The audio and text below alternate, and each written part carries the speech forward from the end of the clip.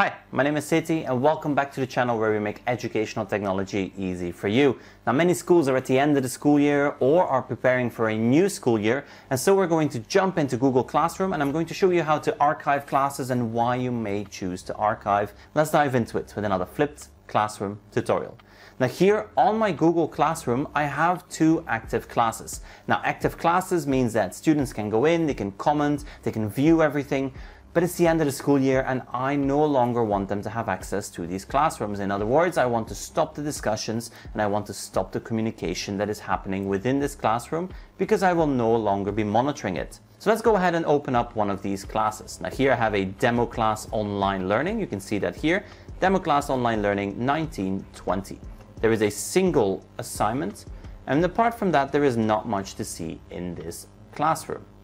We're going to go back to our overview of classes. We also have the demo class 2 online learning, and this one has a little bit more. You can see three assignments here, and this is the classroom that we're going to archive. I want to reuse these lessons. I want to reuse these assignments, but I don't want this classroom to remain open. And by archiving this, I don't lose access. So let's go ahead and click on those three dots, and let's select Archive.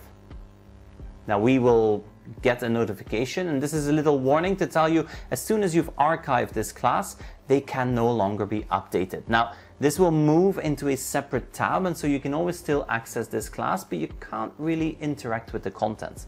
So let's go ahead and archive this. It is gone from our main page and we can start setting up our page for the following school year. In the left hand corner we have a separate tab that says archived classes and we can still find our class here. We can go in and we can see all the assignments and lessons from this classroom but you see that notification that it's archived. We cannot interact with the content. Now let's go to our active class. So we still have this one active class and now let's try to reuse a post from one of my archived classes. Well, we can do that. Now here I can reuse a post, but I want to reuse an assignment. So let's go ahead and go to class work and let's click on that big create button. Now I'm going to reuse a post. This is going to pull up all my classrooms, including those archived classes. So let's go ahead and go to the previous.